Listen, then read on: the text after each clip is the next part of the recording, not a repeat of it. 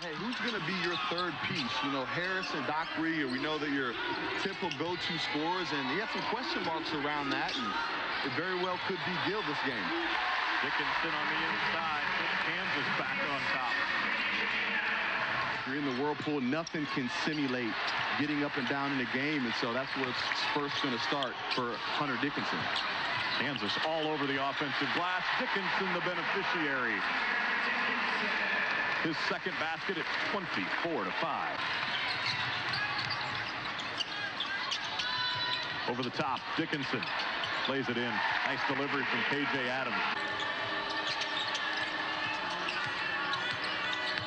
Harper in the lane. Dickinson with the swat. They're possessing pretty significant frames there.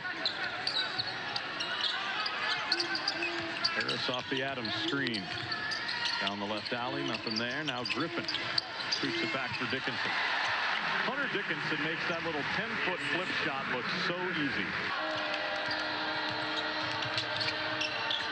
Dockery, nice pass on the back door. Johnson had it, lost it, got it back, got tied up in the air. Mayo turned down the deep three, but got the defense to bite a bit. Now they'll reset.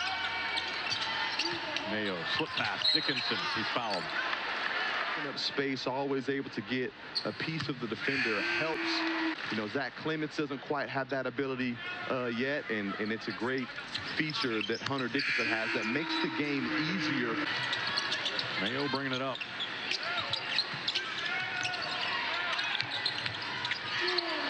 Dickinson, quick skip. Clemence throws it down. Two-hand hammer from Zach Clemence. To Coach Self is he's not all that into scoring 80, 90 points a game, but he prefer to suffocate guys, though scoring is an add-on and benefit when you can do both, especially as you're a legitimate contender for a national championship. Kansas moving the ball really well tonight. KJ Adams usually a big part of that and was again there.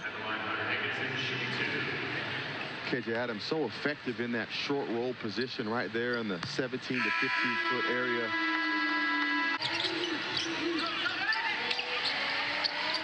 And a nice opportunity to convert there by the bystander, but just couldn't quite handle it.